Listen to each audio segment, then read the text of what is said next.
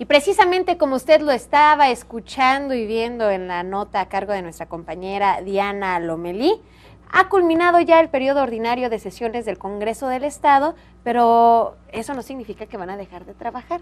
Al contrario, hay mucho que analizar, mucho que observar y para platicarlo, nada más y nada menos que el presidente que va a estar a cargo de todo esta, de, la, de la Diputación Permanente. 1629595, la línea telefónica y como invitado en la charla, el diputado Gustavo Granados. Diputado, bienvenido. Ale, muy buenas tardes. Marta, pues muy comprometido, como bien lo dijiste, culminó una parte del trabajo de los diputados, que es el segundo periodo ordinario de sesiones, y comienza este periodo de la Diputación Permanente, donde tenemos una carga intensa de compromisos con la ciudadanía y que hay que venírselos a decir aquí, porque como lo platicamos aquí algún día, los diputados, si bien estamos mal calificados, queremos trabajar y demostrar cuál, cuáles son los resultados y los compromisos que tenemos con la gente y cómo vamos a sacarlos adelante. Diputado, ¿qué, eh, ¿qué siente usted al ser eh, elegido por unanimidad? Por, eh, esto habla muy bien de alguien que fue elegido de esta manera, porque nos denota que tiene una buena relación no solamente con el grupo al que pertenece, sino también con otros grupos. Y eso pues se habla muy bien. ¿Qué sintió cuando le dijeron? Eh, tuve dos sentimientos. El primero de compromiso, que, te respalde la mayoría implica dar inmediatos resultados y buenos. Pero el segundo, eh, un sentimiento muy natural de decir, eh, Aguascalientes quiere avanzar sin que nos estemos peleando y sin que estemos encontrando oposición. Naturalmente, la pluralidad y la riqueza de ideología que tenemos entre todos los diputados, unos con más experiencia, otros con más juventud, unos especialistas en algún tema, tenemos dos médicos, tenemos varios abogados, eso enriquece, pero el que nos podamos sentar y ponernos de acuerdo y decir, por el bien de Aguascalientes vamos a sacar estos temas fuera de la agenda política y de los intereses coyunturales, y por lo mismo decir, bueno, vamos a permitir que en esta próxima diputación el presidente sea Gustavo Granados junto con un grupo que integra la mesa directiva, pues es una gran responsabilidad. Claro. Pero vamos a trabajar eh, intensamente para lograr los objetivos que nos trazamos. Eh, diputado, muchas personas creen y luego envidian ¿no? el trabajo de un diputado que dice, bueno, terminan el, este, la sesión ordinaria y luego empieza nada más en el periodo de la Diputación Permanente y son vacaciones. ¿Qué tan cierto es esto? Pues no, fíjate que totalmente la parte más relevante está quizá en el trabajo de comisiones. Y para que la gente lo sepa muy bien, cada diputado es responsable de un tema en particular. Gustavo Granados, un servidor, es responsable y presidente de la Comisión de Desarrollo Económico y Turismo. ¿Qué vamos a hacer o qué nos trazamos de objetivos en esta diputación permanente? Primero, estamos haciendo un compromiso de trabajo, es decir, de seguir siendo productivos y eficientes con los resultados que traemos. En este periodo se lograron 49 decretos. De esos 49, 39 fueron de unanimidad, lo que decías, Marta. Muy importante en la construcción de los temas. Nos trazamos este objetivo de trabajo, un segundo objetivo de innovación. Y me van a decir, bueno, ¿y el Congreso cómo puede innovar? Fuimos los primeros eh, en meses pasados de tener un Congreso itinerante. No sé si se acuerden que fuimos, la Comisión de Desarrollo Económico se fue a Calvillo a sesionar. Y todo el mundo estaba medio espantado de qué andan haciendo los diputados por Calvillo, ¿no? Esa cercanía, ese valor de proximidad nos da la oportunidad de interactuar más con la gente.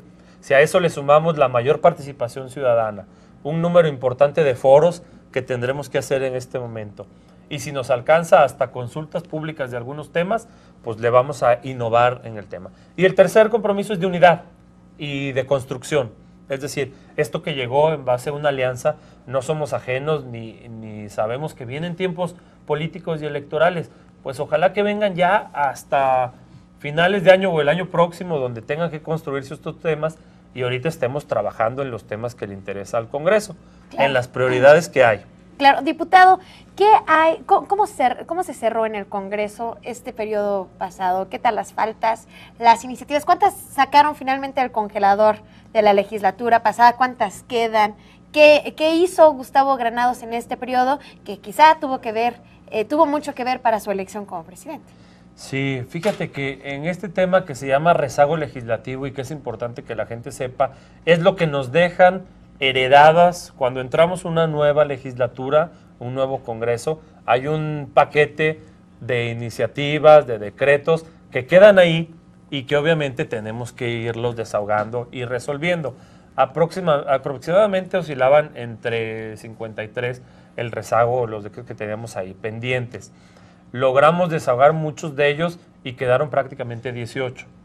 Claro que ahora se han venido presentando muchas nuevas iniciativas de ley y esas ya están en nuestro mismo periodo eh, de legislatura y las vamos a ir tramitando en las comisiones. Ese es quizá el trabajo de fondo de esta este diputación permanente y de este periodo. Hubo cosas muy importantes y así brevemente las menciono.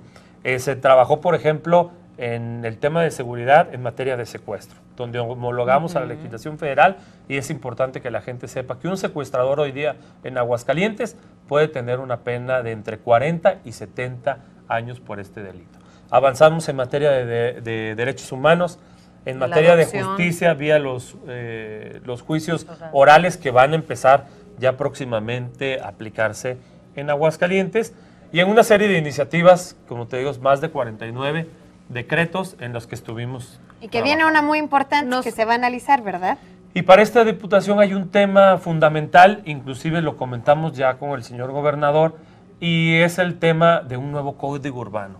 Creo que ahí la Comisión de Planeación, Desarrollo Urbano y Obra Pública tiene que hacer un gran trabajo, un gran consenso, pero Aguascalientes fue pionero en su, en su, momento, en materia de desarrollo urbano, se ha venido desarrollando de manera ordenada, pero requiere ya dar un brinco hacia un nuevo código urbano que estamos trabajando con el presidente, el diputado Mario Guevara Palomino, un servidor que soy integrante de la comisión y que esperemos avanzar de manera en este tema. Diputado, tenemos memoria muchos de la población y sabemos que en algunas de las eh, legislaturas eh, pues hay muchas cuestiones políticas, eh, mucho retroceso, no salen las iniciativas, hay para el año que entra, hay para la siguiente legislatura.